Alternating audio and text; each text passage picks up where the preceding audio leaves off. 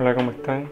Bueno, no había podido subir videos porque la investigación que estaba realizando para realizar este mismo video pues estuvo un poco compleja ya que para poder encontrar información sobre las problemáticas locales o sobre algo local es un poco complejo. El día de hoy, como pueden ver en el título, les estaré hablando sobre un género musical que se escucha bastante aquí en la costa colombiana, que es la champeta, un género que me gusta mucho y de hecho toco bastante en mi guitarra.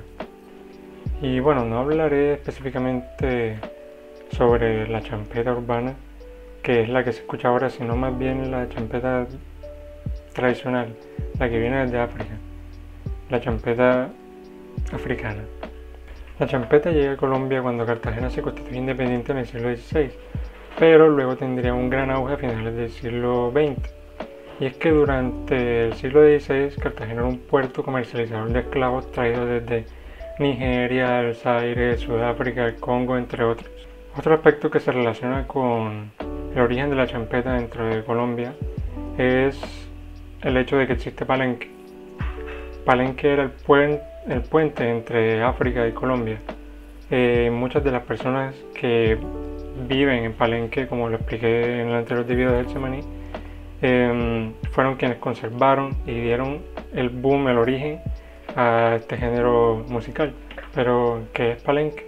Como dije brevemente en mi anterior video, Palenque es el primer pueblo libre de Latinoamérica colonial y de hecho es declarado así por, eh, como Patrimonio Histórico de la Humanidad.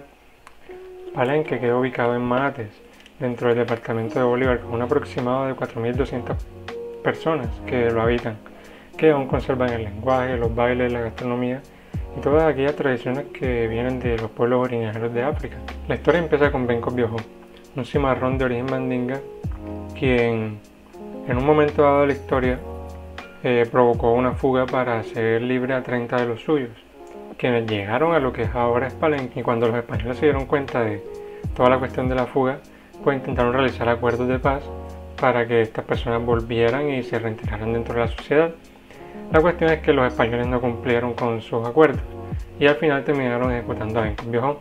Pero este quedó en la memoria y de hecho hay un, una estatua en conmemoración a, él y al, acto de rebelión que realizó. Y también hay una canción de Joe Arroyo que hace referencia a este suceso. Otros esclavos más provenían de otras regiones de África, por ejemplo de la costa de Guinea, el norte de Sudán, también grupos musulmanes como los Wolof de Senegambia, los Mandingas que bueno pues de este grupo hacía parte de Benco Viejo, o animistas, animistas son grupos de personas que le atribuyen un sentido espiritual a objetos inanimados o sucesos que dentro del conocimiento occidental no tienen ningún, ninguna intención específica de realizar un acto en contra o a favor de los humanos, como por ejemplo el agua, la tierra, el fuego, el aire, em, la lluvia, las plantas, etc. Em, animistas como los Branes y Sapes de Guinea, y luego también habían segundas zonas de asentamiento que pertenecían a Ghana, Dahomey, Togo y Nigeria. Eh, y esto era hábitat de los Yorubas, los Ewes, Fantis, Ibos, Hausas y Fulanis. Y por último estaba la región del Congo y Angola, que era un área poblada por la gente Bantu o Bantú.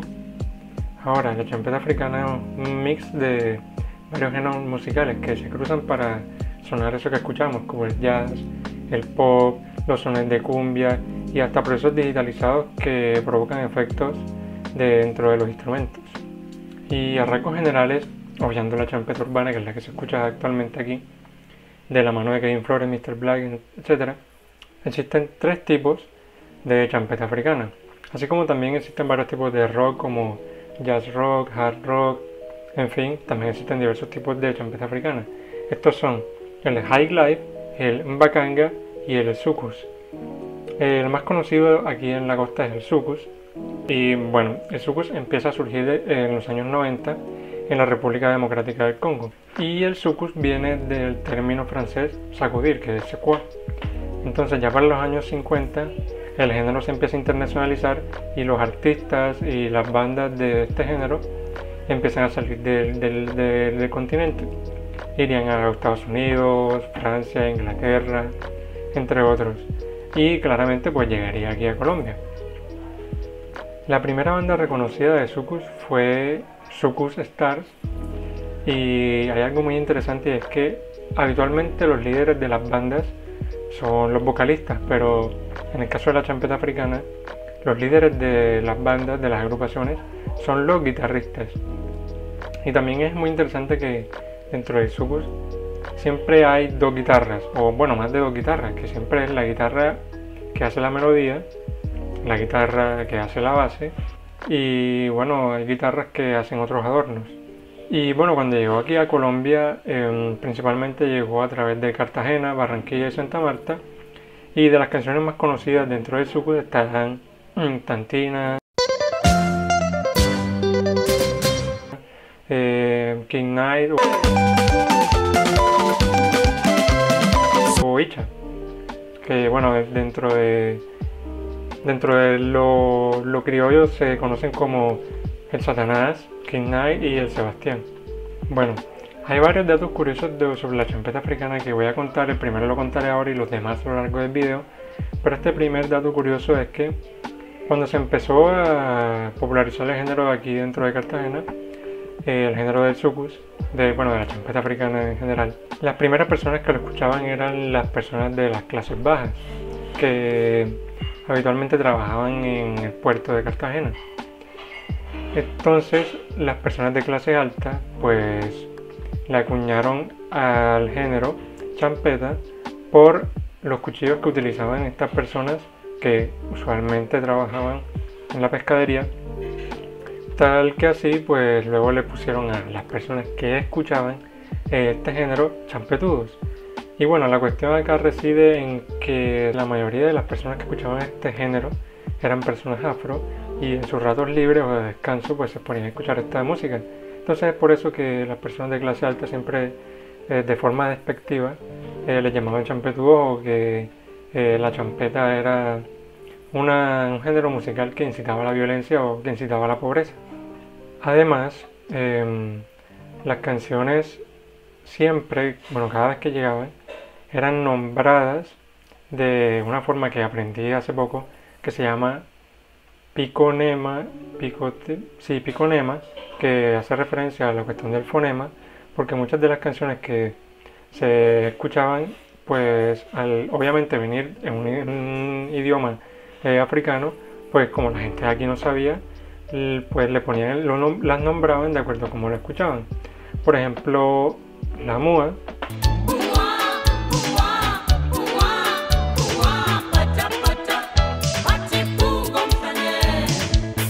Sebastián o el Satanás.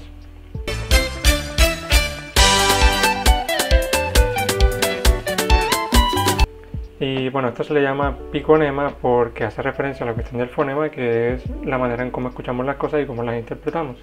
Luego tenemos el high life, que es otro género de, de esta champeta africana, pero que se inclina un poco más hacia lo jazz, y con muchos más exponentes, pues por no decir tribales, sino mucho más tradicionales eh, que se desempeñaban en este género. Y es por eso que el High Life varía tanto, porque tiene un montón de culturas implicadas y esto lo hace tan diverso.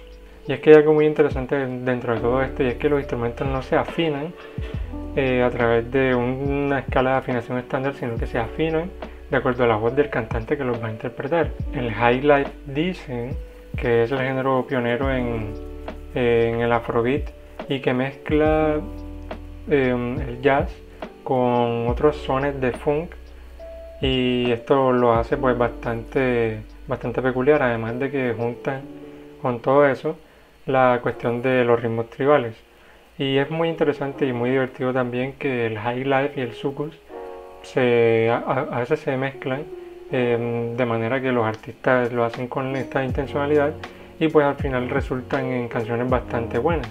En esto tenemos ejemplos como La guitarrita,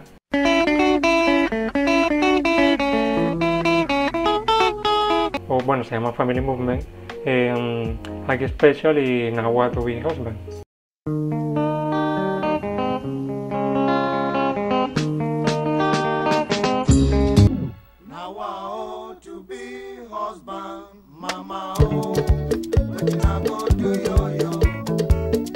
Bueno es que esta música pues no viene sola. Y es que muchos de los cantantes o muchos de los artistas de este género al fin tuvieron, o sea, al fin y al cabo tuvieron una incidencia política. Eh, en el caso del High Life, pues tenemos una exponente que su, nombre era eh, Miriam Makeba. Eh, ella era activista por los derechos de las mujeres y los derechos de las personas afroamericanas y ella hacía parte de la comunidad Bantu, que voy a dejar una etiqueta de un video por aquí o por acá sobre el lenguaje Bantu que se llama el lenguaje del clic, que mm, para ellos pronunciar la C eh, la pronuncian como si fuera una K, o bueno, es, un, es una, una extraña forma de vocalización, pero es muy interesante y creo que deberían verlo para poder entender todo esto. La cuestión es que Miriam Makeba fue exiliada en 1960 por luchar por los derechos de las personas afro y de las mujeres en 1960 y también luchó contra la parte, cosa que hizo que se hiciera amiga de Nelson Mandela. De hecho hay una fotografía de ellos dos juntos eh, que la voy a dejar por aquí y fue la primera mujer en recibir un Grammy. De hecho en, en octubre del 99 fue nombrada por la Organización de la Alimentación de Naciones Unidas, o la FAO, fue nombrada embajadora de la Organización para la Agricultura y la Alimentación de las Naciones Unidas y en el discurso de, su nombramiento pues em, realizó un relato para todas las mujeres negras del mundo. Además que fue una de las primeras, si no la primera, mujer afroafricana en recibir un Grammy.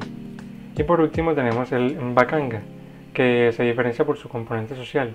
Y si bien el High Life tenía una presencia tribal bastante marcada, pues el Mbakanga lo tiene aún más y es que el embacanga se desarrolló a partir de la motivación de los nativos para dar a conocer la música que se escucha dentro de las comunidades, que podríamos hacer una analogía aquí dentro de las comunidades indígenas, bueno, allá las comunidades locales, las comunidades tribales, pues intentaban que intentaban visibilizar su música y pues lo hicieron a través de este género musical que fue reconocido como Mbakanga. Una de las cosas a notar del Mbakanga es que no fue sino hasta su decadencia que se empezó a occidentalizar.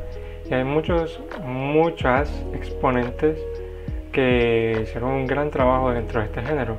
Tenemos a las Majotela Queens, que son como las más reconocidas aquí dentro, de, dentro del país de Colombia. Y también tenemos la canción de Sangalegua, que eso va con el segundo dato curioso, y es que Sangalegua, pues no, o sea, el Waka Waka, mejor dicho, no es una canción original de Shakira, sino un un plagio a la canción original del propio grupo que también se llama Sangalegua. Y suena así.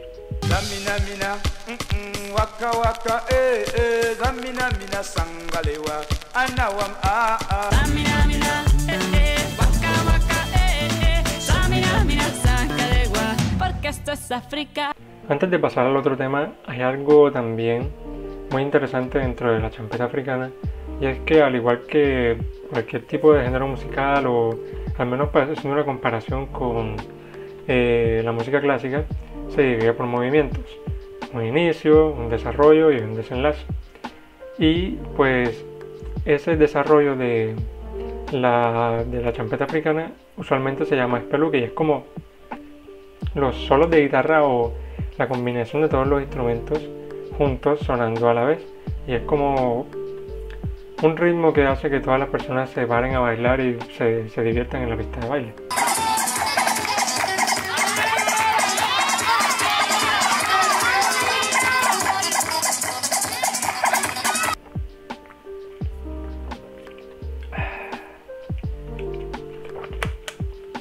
Publicidad no pagada.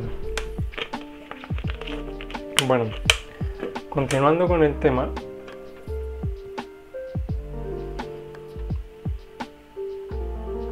Continuando con el tema, la champeta africana tiene un gran peso en Cartagena y dentro de la costa en general. ¿Recuerdan cuando dije eso de los champetudos? Pues eso tiene su componente histórico y político. De hecho, aún en la actualidad, esas palabras de champeta, champetudos, em, no se utilizan con una buena intencionalidad. De hecho, como dije anteriormente, son las personas de incluso hasta también de clase media y de clase alta que intentan describir o señalar a las personas de escasos recursos que escuchan este tipo de música, de manera que lo hacen con un tono despectivo y hasta discriminatorio. Dentro de las investigaciones que hice, ya la conclusión de que ser champetudo es un cúmulo de diversas experiencias. Por un lado, está el hecho de que la comunidad afro ha sido marginalizada, o sea, la cuestión sociopolítica e histórica ha sido marginalizada y ha sido obligada a vivir en la pobreza por parte de, las clases altas y, e incluso las clases medias.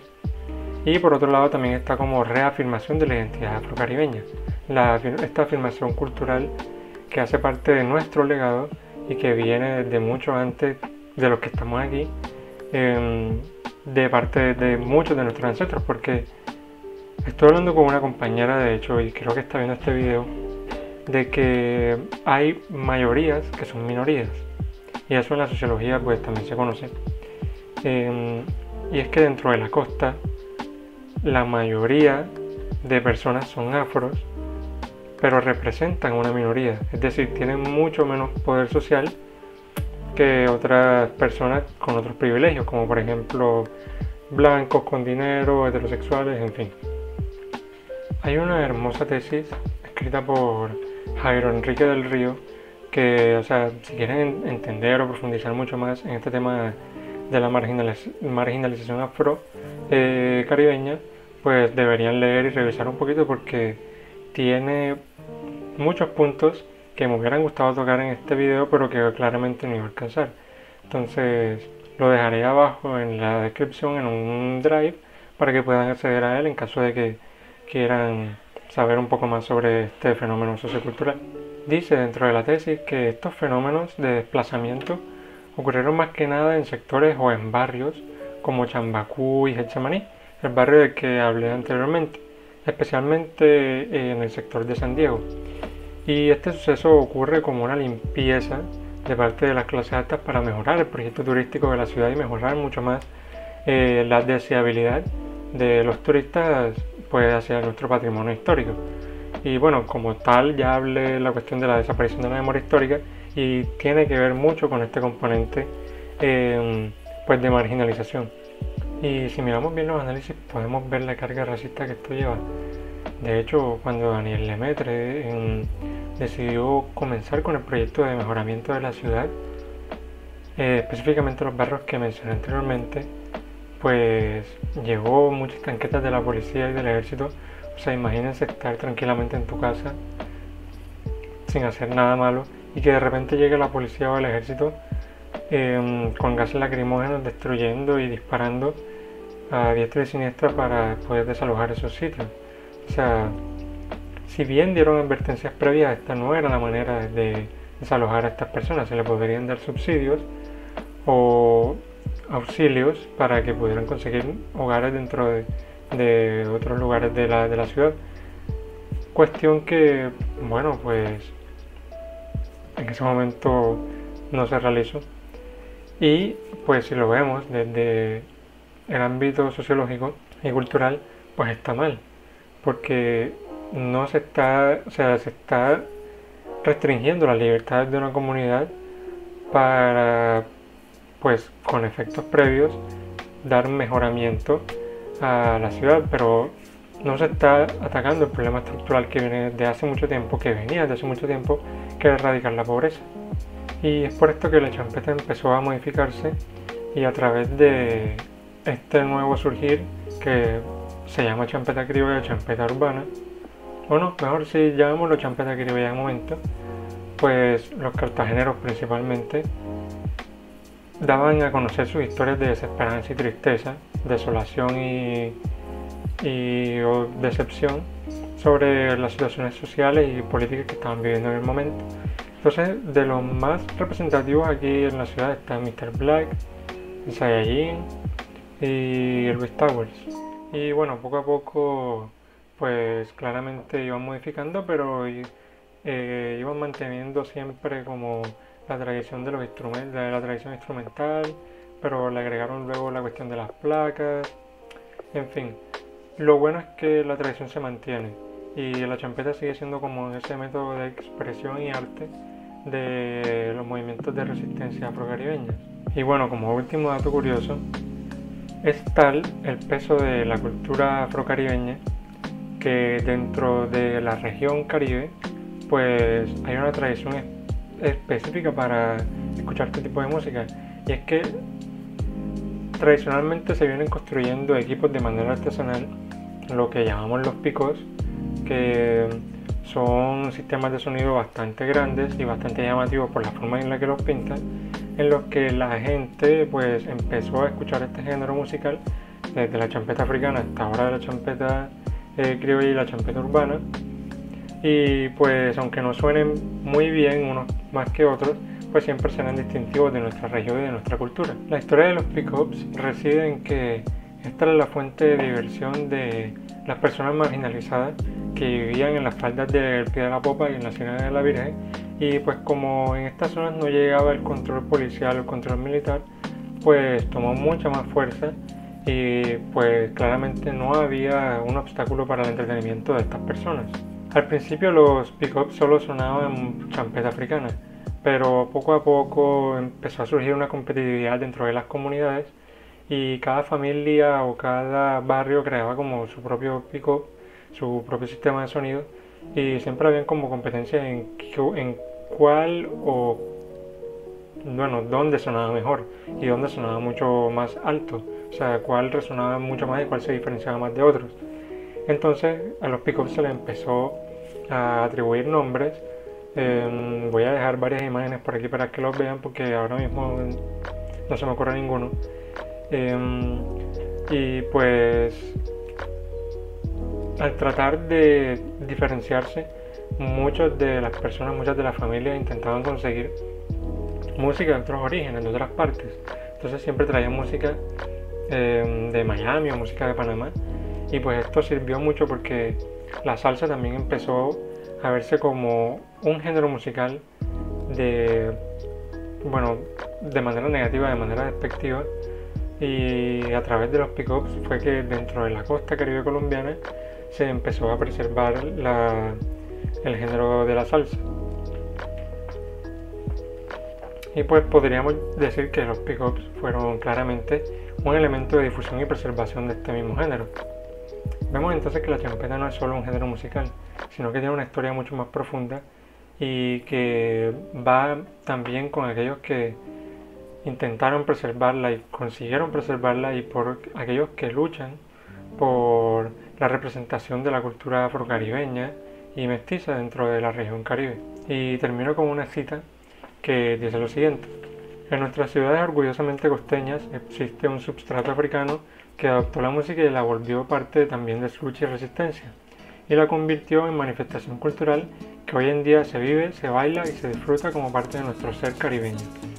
Bueno, sería todo por el día de hoy. Muchas gracias por ver de nuevo uno de mis videos y que tengan un feliz resto de día. Adiós.